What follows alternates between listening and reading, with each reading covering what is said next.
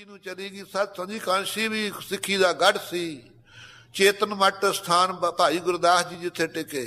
ਲਾਹੌਰੀ ਟੋਲਾ ਬੜਾ ਸਤ ਸੰਗਤ ਜੀ, ਉੱਥੇ ਸਾਧੂਆਂ ਦਾ ਸਥਾਨ ਹੈ ਆਪਣਾ, ਨਿਰਮਲ ਭੇਖ ਦਾ। ਬੜਾ ਭਾਰੀ ਵਿਦਿਆਲਾ ਸੰਸਕ੍ਰਿਤ ਦਾ ਚੱਲਦਾ। ਚੇਤਨ ਮੱਟ ਵੀ ਸਤ ਸੰਗੀ ਸੰਸਕ੍ਰਿਤ ਦਾ ਵਿਦਿਆਲਾ ਚੱਲਦਾ। ਇਸ ਤਰ੍ਹਾਂ ਕਬੀਰ ਸਾਹਿਬ ਜੀ ਦਾ ਸਥਾਨ ਹੈ।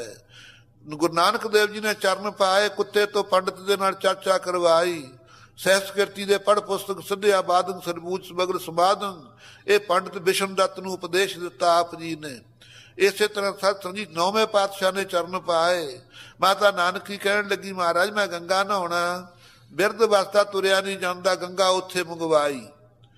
ਹੁਣ ਵੀ ਸਤ ਸੰਗ ਜੀ ਉੱਥੇ ਚਸ਼ਮਾ ਹੈ। ਦਸਵੇਂ ਪਾਤਸ਼ਾਹ ਦੇ ਛੋਟੇ ਛੋਟੇ ਜੋੜੇ ਨੇ ਉੱਥੇ ਛੋਟੇ ਚਰਨਾਂ ਦੇ। ਨੌਵੇਂ ਪਾਤਸ਼ਾਹ ਦੇ ਵੱਡੇ ਜੋੜੇ ਹਨ।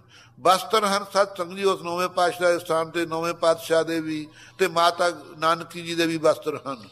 ਇਸ ਤਰ੍ਹਾਂ ਸਤ ਸੰਗ ਜੀ ਜਿਹੜੇ ਉਦਾਂ ਗੁਰਦੁਆਰੇ ਸਿੱਖਾਂ ਨੇ ਬਣਾਏ ਹੋਏ ਨੇ, ਆਪੋ ਆਪਣੇ ਮਹੱਲਿਆਂ ਦੇ ਵਿੱਚ ਉਹ ਵੱਖਰੇ ਰਹਿ ਗਏ। ਇਉਂ ਸਤ ਸੰਗਤ ਜੀ ਇਹ ਨਾ ਸਮਝਣ ਨੇ ਵੀ ਹਿੰਦੂਆਂ ਦੀ ਕਾਂਸੀ ਆ, ਉੱਥੇ ਨਹੀਂ ਜਾਣਾ। ਗੁਰੂ ਕੇ ਭਾਈ ਇਤਿਹਾਸਕ ਸਥਾਨ ਨੇ।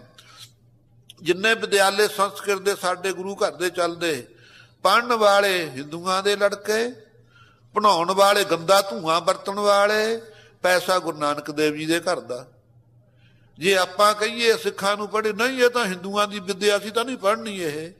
ਸੋ ਸਤ ਸੰਗਤ ਜੀ ਫਾਰਸੀ ਤੇ ਅਰਬੀ ਮੁਸਲਮਾਨਾਂ ਦੀ ਸੀ, ਉਹ ਕਾਹਨੂੰ ਪੜ੍ਹ ਲਈ ਹੁਣ ਤਾਂ ਹੀ ਬੁੜੇ ਤਰਸਦੇ ਆ, ਕਹਿੰਦੇ ਕਚਹਿਰੀਆਂ ਚ ਕਿੱਥੇ ਹਟਾਤੀ, ਐਵੇਂ ਸਾਡੇ ਕੋਲੋਂ ਲਗਾ ਮਾਤਰਾ ਲੱਗਦੀਆਂ। ਕੀ ਸੋਹਣੀ ਉਰਦੂ ਦੀ ਪ- ਲਿਖਤ ਸੀਗੀ। ਇਸੇ ਤਰ੍ਹਾਂ ਸਤ ਸੰਗਤ ਜੀ ਵਿਦਿਆ ਦੇ ਨਾਲ ਨਹੀਂ ਵਿਤਕਰਾ ਹੋਇਆ ਕਰਦਾ। ਹੈ ਦੇਵ ਦੇਵ ਬਾਣੀ ਦੀ ਭਾਸ਼ਾ ਹੈ। ਜੇ ਨਹੀਂ ਖਾਲਸਾ ਪੜੂਗਾ, ਹੋਰ ਕੌਣ ਪੜੇਗਾ ਸਤ ਸੰਗਤ ਜੀ, ਗੁਰਸਿੱਖ ਸਿਆਣੇ ਤੋਂ ਸਿਆਣੇ ਸੂਝਵਾਨ ਹਨ। ਸੋ ਐਸੀ ਕਾਂਚੀ